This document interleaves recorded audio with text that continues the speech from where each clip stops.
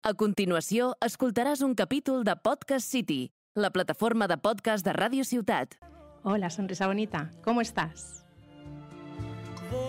Descubrir la noche. Bienvenida, bienvenido a un nuevo episodio de Sonrisas con Esencia. Hoy traemos una invitada muy, muy especial. Os traigo a Rebeca, mentora y terapeuta holística y hace unas cosas maravillosas. Y hoy nos va a explicar algo de que puede ser que os sorprenda mucho. Yo estoy convencida de ello. Hola Rebeca, Muy buenas tardes, Vicky. ¿qué tal? Muy bien, encantada de estar aquí contigo y vivir esta experiencia. Bueno, yo estoy más que encantadísima.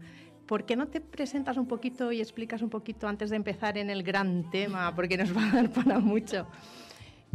Prácticamente, ¿qué son las terapias o qué terapias son las que, con las que tú trabajas más? Bueno, pues yo me considero una terapeuta holística integral, hago un proceso integrativo sobre todo a nivel de amor propio y autoestima. Creo que es un proceso en el que a día de hoy afecta a muchísimas personas y realmente no les deja avanzar al objetivo que realmente buscan y quieren. Y trabajo a través de mentorías uno a uno, trabajo con una terapia, digamos, más tradicional, más a nivel psicológica y luego trabajo con otras terapias energéticas y holísticas en el que trabajamos los planos espirituales y energéticos de la persona. Entonces se hace como un globo en el que realmente se hace un conjunto perfecto, una conjunción perfecta para lograr el objetivo que busca la persona que yo busco, que es la sanación. Genial. Además es que hace muchísima, muchísima falta. Últimamente estamos, yo creo que todos un poco... sí, sí, y la energía. mm, con el eclipse que se viene. Nos tenemos que preparar. Llevamos ya una temporada de eclipses, por lo menos a mí me han afectado muchísimo. Sí, sí. muchísimo, muchísimo. Total. Bueno, pues hoy os traemos un tema muy, muy mm, especial, fantástico, mágico, que son los registros acásicos. Y mm, para empezar, ¿qué son los registros acásicos? Bueno, pues es una pregunta bastante, bastante profunda, porque realmente eh, yo voy a hacer una explicación básica de lo que yo explico a la gente cuando me preguntan qué son los registros. Los considero como nuestros hermanos mayores, a los que siempre pedimos consejo, a los que siempre queremos, con los que queremos conversar para que nos ayuden en un momento puntual de nuestra vida. Realmente los registros son una biblioteca en donde se almacena absolutamente todo de- desde tu primera encarnación en este plano hasta el día de hoy. Con lo cual podríamos decir que, que realmente es como la historia de tu alma. Eh, en, en pocas palabras y en mucha profundidad, porque realmente puedes acceder absolutamente al conocimiento de todas tus vidas pasadas que te pueden aportar conocimiento en el día de hoy y resolver dudas de tu presente que realmente no te dejan avanzar al objetivo que realmente estás buscando o que quieres. Entonces los registros son información global, concisa y clara de todas tus vidas. A mí me encanta eh, el- cuando se dice que son la biblioteca de uno mismo, ¿no? Porque claro, son bibliotecas enormes Enormes. de información que continuamente eh, va entrando, va entrando información. Continuamente. ¿Cómo te llega la información? canalizada. Yo tengo que decir aquí que eh, no, a lo mejor por la experiencia que tengo de, de ya estos 17 años haciendo registros, es que la, la gente cuando viene a hacerse registros conmigo se sorprenden porque a lo mejor te llevas 10 folios escritos, o 12, u 8, no lo sé, ¿no? Pero realmente hago una canalización y para mí es como si fuera un dictado. Anoto absolutamente todo bueno. lo que me dicen. Entonces, claro, no solamente va a ser una frase o una palabra que te haga un clic, sino realmente una representación clara de absolutamente lo que estás preguntando. Eso, eh, entonces yo lo que hago es abrir un canal energético y espiritual. Lo hago desde que tengo uso de razón, esto. Entonces, no existe para mí una formación mágica que yo haya hecho para que realmente llegue a, lo- a donde yo estoy ahora.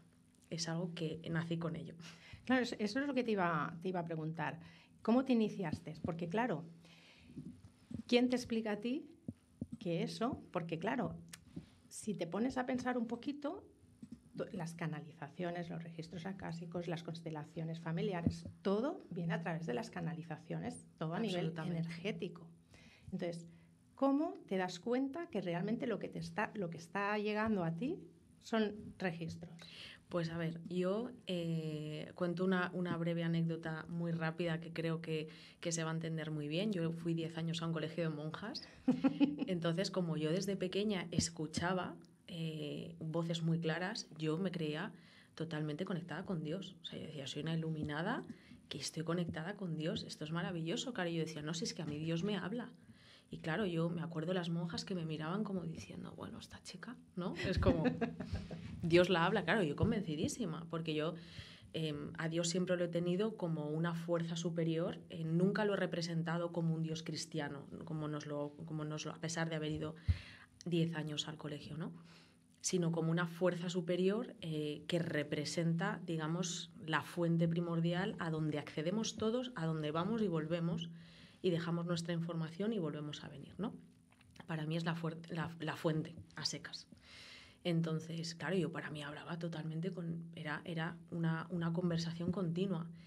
Em, mi abuela eh, hacía sanación con imposición de manos y yo desde pequeña he estado, bueno, pues ya un poco metida en estos temas, a pesar de que eh, pe- hablamos de que mi abuela posguerra en esa época ya no se hacía tanto este tema porque estaba mal visto eh, y se dejó un poco de lado, pero en- siempre ha habido en mi casa ¿no? estos, estos temas. Y cuando fui creciendo, eh, con 20 años hice los, los grados de Reiki, la maestría, y me acuerdo una compañera que me dijo, ¿por qué no te vas a hacer registros acásicos? Y yo, uy, ¿eso qué es, no? Pues vete a una señora que los hace, allí que fui. Y cuando yo termino la sesión, eh, me dice, bueno, mira, te tengo que decir una cosa más. Y yo digo, ah, pues dime. No, mira, que, que es que tú puedes hacer registros acásicos. Y yo, ¿eh?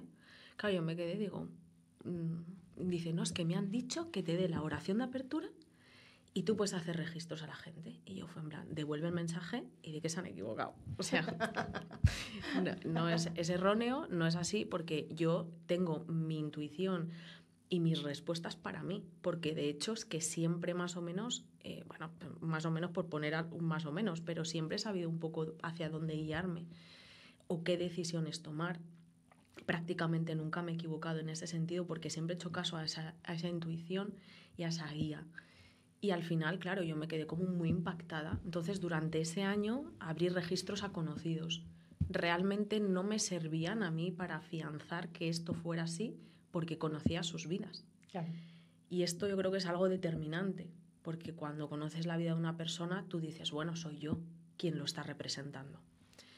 Eh, que cuando hago constelaciones, al final es una representación canalizada, ¿no? Eh, pero yo decía, conozco su vida, no me sirve. Y me vino una amiga de una amiga que conocía su nombre, pero a ella no sabía nada de su historia. Y le conté algo muy crudo de, de su infancia, un trauma muy fuerte, que yo cuando lo escribí aluciné, me quedé, eh, me quedé pensando, ¿cómo leo esto? Porque, claro, no olvidemos que yo cuando hago una sesión te vas a llevar toda la información, pero de cada pregunta lo leo y lo interpretamos. Entonces, claro, ¿cómo le dices a una persona cosas tan fuertes como las que muchas veces me dicen, ¿no? Y cuando yo se lo dije, esta persona se echó a llorar y me dijo, esto solo lo sabe tal persona y yo, no lo sabe nadie más. ¿Cómo puedes saberlo? Y yo ahí dije, "Hmm, pues a lo mejor sí que es verdad que yo puedo canalizar registros.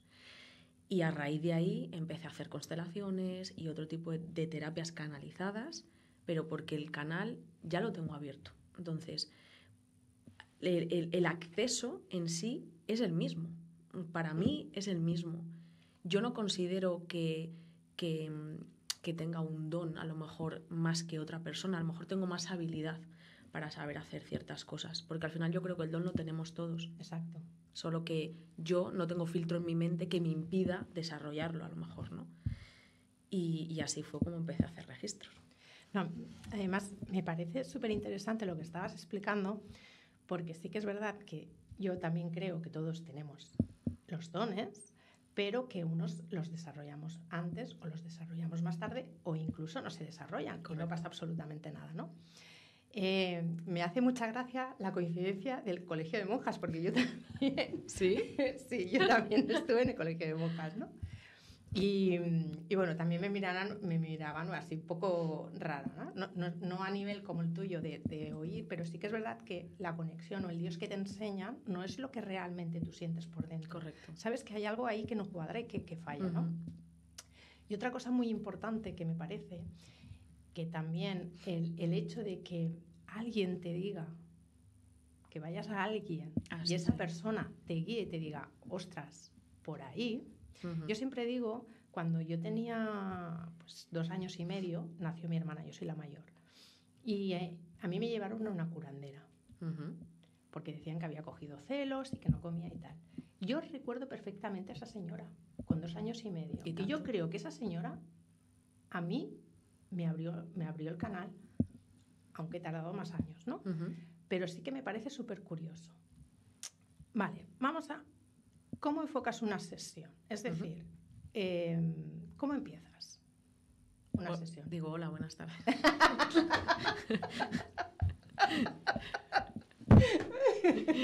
normalmente, normalmente em, bueno, cuando la persona se pone en contacto conmigo, le explico un poco, porque la mayoría de las personas partimos de la base que no sabe qué son Ujú. los registros. Cosa que, por favor, haceros registros acásicos, porque es una fantasía de la vida. eh, toda la información que te, que te brindan. Entonces, todo el mundo me dice, me han dado tu teléfono para hacerme registros, pero no sé qué son. Bueno, y ahí empieza un poco la explicación que, que he dado al inicio. Y al final yo siempre explico que tienen que prepararse entre cuatro y cinco preguntas para poder realizar la sesión. La sesión realmente se realiza de una manera muy sencilla, porque es como una reunión de tú a tú, como estamos tú y yo ahora, y que realmente eh, abro los registros a través de la oración. Ya la oración la hago como, como un tributo a mis inicios, porque realmente no es necesaria la oración. Y muchas veces me he encontrado incluso con otros terapeutas que hacen em, como unas parafernalias muy fuertes con respecto a este tipo de, de terapias que de alguna manera tipifican a- al resto de terapeutas que no somos para nada de así. Que bueno, si quieres luego abordamos ese tema, pero porque me parece muy interesante porque la gente cuando me conoce me dice, ay, no te esperaba así. Y yo, ¿qué me esperabas? ¿Con una túnica y una, una bola de cristal? ¿Cómo me esperabas? No sé. La, la vela negra. Claro, sí. O sea, ¿cómo me esperabas? ¿no? La gente se queda como, no, no sé, pues de otra forma, con la raya en el ojo, no sé, cosas como muy, muy, muy curiosas. Y cuando yo abro los registros, eh, directamente me hacen una introducción. O sea, yo te puedo escribir dos folios al principio de la sesión. Claro, normalmente la gente se queda anonadada, porque es en plan, ¿qué está escribiendo? Entonces yo siempre digo, bueno, nos van a hacer una introducción normalmente, hasta día de hoy no ha habido nadie que no le hayan hecho introducción, pero normalmente me hacen una introducción en el que abordan temas vitales, incluso contestan preguntas que ya traen, ya hechas, ¿no? Claro, no olvidemos que son tus registros, saben Exacto. perfectamente lo que has preguntado en tu casa y lo que has apuntado, porque no olvidemos que se queda registrado absolutamente todo, pensamientos, emociones, traumas, absolutamente todo se queda registrado en esa biblioteca. Em, y tras esa primera introducción más breve, más extensa, se hace una interpretación. Como regla general, eh, siempre mm, de alguna forma eh, representan a la persona con sus características principales, cómo era de pequeño, qué es lo que le ha pasado de pequeño, qué ha hecho que ahora sea así, por qué empiezan así o cómo yo entiendo, por qué yo entiendo que empiezan así, porque realmente es una forma de que digan, wow, esta persona cómo va a saber que yo de pequeño mi madre no me hacía caso, o que yo era la sombra de mi familia, o que yo era un fantasma que pasaba por casa y he penado hasta los 20 años, o que tuve este trauma en concreto con tres años, que por, ese, por esa razón a día de hoy vivo en la miseria, ¿no? Un montón de cosas que la gente se acaba diciendo, vaya, pues yo no venía preguntando eso, ya, ya, pero bienvenido, y siempre dicen bienvenido y bienvenido, Sí, sí. y a raíz de ahí se suceden las preguntas. ¿Qué preguntas em, son las adecuadas en una primera sesión?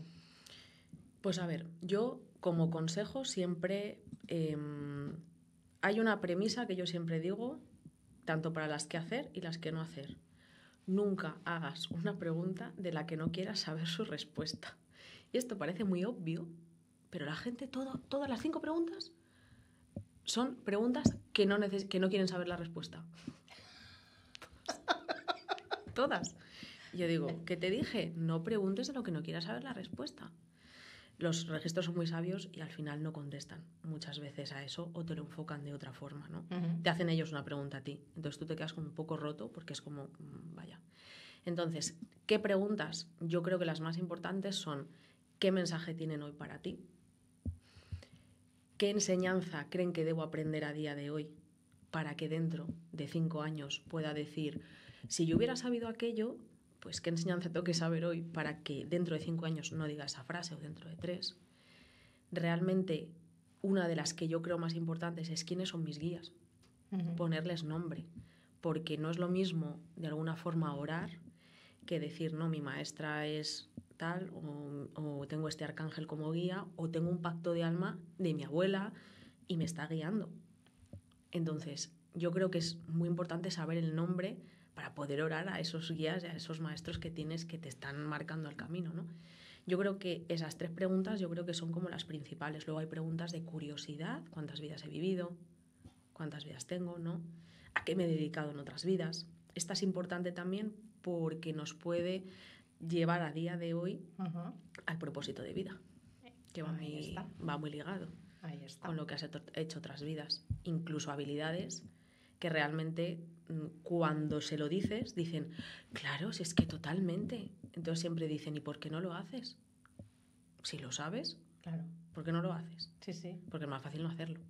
Bueno, a veces te falta la confirmación de sabes, pero dudas. Ujú. Me parece súper, súper interesante, pero se nos está acabando el tiempo. Así que... Hablo mucho. eh, no, es que hay mucho que explicar sobre Sí, este tema porque hay mucho desconocimiento.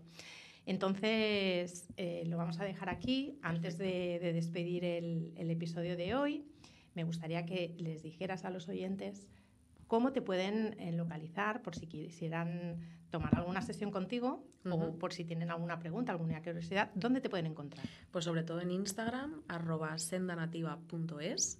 Además tenéis un montón de vídeos explicativos sobre los registros y ahí me podéis mandar mensaje directo, tenéis acceso a enlace a WhatsApp directo para poder contactar conmigo, o sea que ahí pues que podéis concertar cita. Perfecto, pues ya lo sabéis, o sea, tenéis que pedir cita ya con Rebeca. Sí.